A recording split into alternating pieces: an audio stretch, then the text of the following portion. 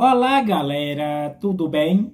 Olha eu de volta na área para fazer mais um vídeo para vocês e deixar vocês bem informados com a notícia do Vitória e que vem acontecendo atualmente, notícias atualizadas para deixar vocês atualizados.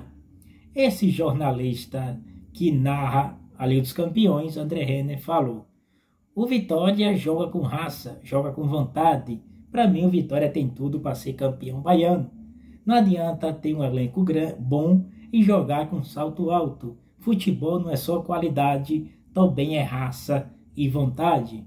Então, muita gente acredita na vitória do Vitória.